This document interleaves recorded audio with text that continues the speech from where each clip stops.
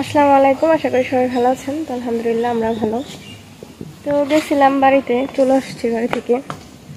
বাড়ি থেকে বাসার পর অনেক ধরনের কাজকর্ম করা হয়েছে, তার মধ্যে দেখানো হয় নাই।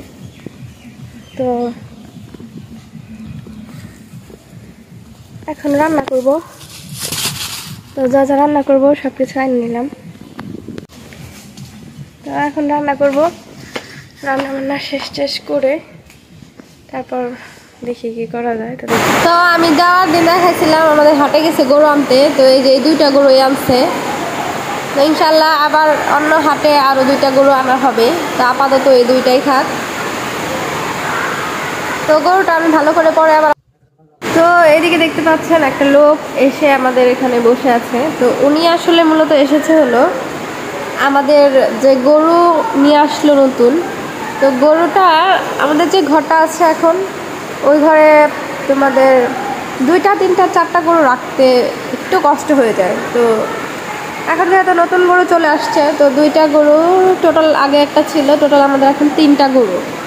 তো তিনটা গরু এখানে মোটামুটিভাবে আর কি রাখা যায়, যাবে। তো এখন যদি আমরা আর আরও গরু বাড়াতে চাই, তাহলে আমাদের একটা ঘরের দরকার হবে। তো সেই ঘরটা আসলে এইখানে একটা সিস্টেম করার কথা মা বলতেছিল যে এইখানে যদি কিছু একটা করা যেত, তাহলে আরও দুইটা গরু এনে লালন পালন করা যেত। তো সেই হিসেবে মিস্ত্রিকে দেখাচ্ছে যে এখানে কিছু করা যাবে কিনা। আবার এখানে আম গাছটাও আছে সেটাকে মাথায় রাখতে হবে।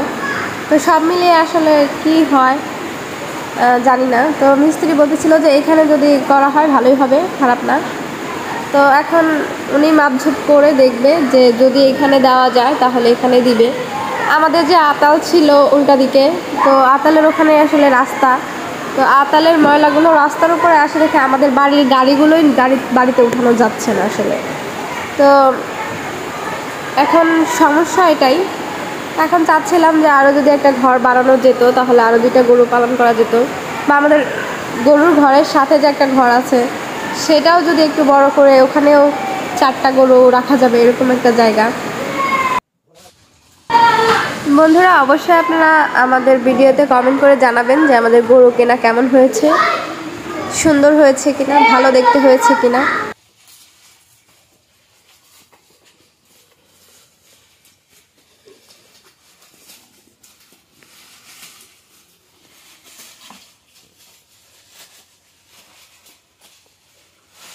খান আমার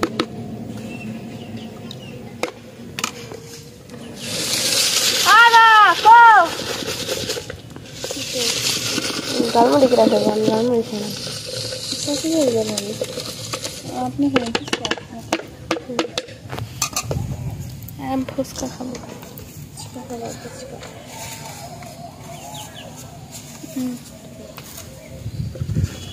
তুমি কি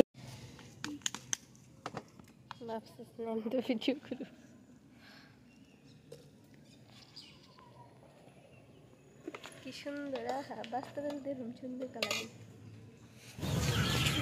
তো ফুচকা লাগছে, ফুচকা খাব। বাড়ি থেকে প্লেট নিয়ে যেতেছি আর উনি চলে যাবে, ওনার কাস্টমার আজকে কম। প্লেট নিয়ে গেলে উনি আমার বানায় আমাদের প্লেটে দিয়ে যাবে।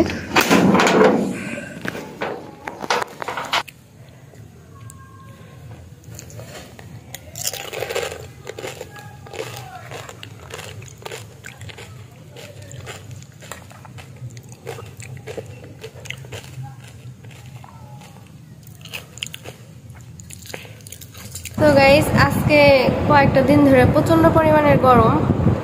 এমন গরম যে আসলে এরকম তাপমাত্রা আমাদের এলাকায় আসছিল বা ছিল বলে আমার মনে হয় না। তো আসলে চৈত্রী মাসে এরকম গরম হয় না বা থাকে না। প্রচণ্ড পরিমাণের গরম। আমি সকালবেলা আসছি আসা যাওয়া কোনোটাই আপনাদের সাথে শেয়ার করতে পারি নাই, কারণ খুবই আর্জেন্ট একটা কাজে আমার ওইখানে যাইতে হয়। তো যাওয়ার পরেও যে আমি খুব একটা বেশি ভিডিও করতে পারছি তাও পারি নাই। একটু একটু আপনাদেরকে দেখানোর চেষ্টা করছি। বিকালবেলা একটু বের হয়েছিলাম, সেই জিনিসটা আমি আপনাদেরকে একটু দেখাইলাম। তো বাড়িতে আসছি, আসার পর রান্না বান্নাটাও আমি দেখাইতে পারি নাই। তারপরে তারপরেও যে কাজকর্মটা আছে আমি দেখাইতে পারি নাই। তো আসলে রেগুলার ব্লগ যেটা, সেটা আসলে আমরা রেগুলার যেটা করি সেটাই দেওয়ার চেষ্টা করি, আসলে যা হয় তাই দেওয়ার চেষ্টা করি। কিন্তু তার মধ্যে থেকেও আসলে অনেক অনেক কাজকর্ম আছে যেটা আপনার মিস্টেক হয়ে যায় বাদ পড়ে যায়। কারণ সবসময় আসলে ক্যামেরা ধরার মন মানসিকতা কিন্তু থাকে না। আর তাছাড়া এমন যদি কেউ থাকে বাসায় বা হেল্প করার জন্য যে একজন মানুষ সবসময় ক্যামেরা নিয়ে ঘুরবে আর একজন মানুষ যা করবে সেটা ভিডিও করে পাঠানো যায় বা ভিডিও করা সম্ভব। তাছাড়া যে আমরা যেটা করি, নিজেরা নিজেরা যা করি, নিজেদের ক্যামেরাটাও কিন্তু নিজেরাই করি। এই জন্য কিন্তু আমাদের এতটা সমস্যা হয়। আমি যা করছি সেটাও একটা দেখা যাচ্ছে আমি যদি সেটাও দিতাম, মোটামুটি দুই তিন ঘণ্টার একটা ভিডিও হতো কিন্তু সেটা তো আর দেওয়া যাচ্ছে না। তো সব মিলিয়ে আজকের দিনটা এইভাবে চলে গেল। তো বাড়ি থেকে আসলাম, মনটাও খুব একটা বেশি ভালো না। বাড়ি থেকে এসে আমি স্কুল জয়েন করছি। স্কুল করে আমি বাসায় আসছি। আসার পর আসার পরে রান্না বান্না করলাম, তো আপনাদের সাথে তো সেটা বললাম। তো আমাদের সেই কালকের আগের ভিডিওতে আমি দেখাইছিলাম যে আমাদের গরু কিনতে যাচ্ছে। তো আজকে আপনারা ভিডিওতে যে গরুটা দেখলেন, সেই গরুগুলাই আসলে কিনে আসছে? তো দুইটা গরু, আমাদের টার্গেট ছিল চারটা গরু আনার, তো এখন বাজার ভালো না, বাজার চড়া। যার জন্য চারটা গরু তিনটা গরুর দামে আমাদের চারটা না, দুইটা গরু কিনতে হয়েছে।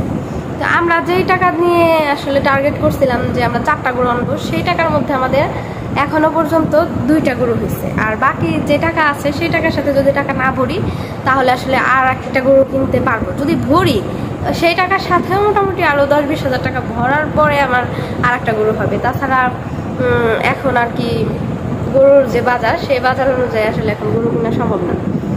তো যাই হলো, দুইটা আছে, এখন দেখা যাক। আর একটা আমাদের বাড়ির গরুই ছিল, আপনারা দেখছেন। তো এখন দুইটা গরুই আনলাম। তো পরবর্তীতে আরও দুইটা আনার ইচ্ছা আছে। তো আজকে যে ঘর সারার জন্য যে মিস্ত্রিটা আসছিল, আপনাকে দেখালাম। তো ঘর না, আসলে আমাদের আতালটা সারবো। তো আতালটা সারার উদ্দেশ্য হচ্ছে গরু জানি ভিজে না যায়।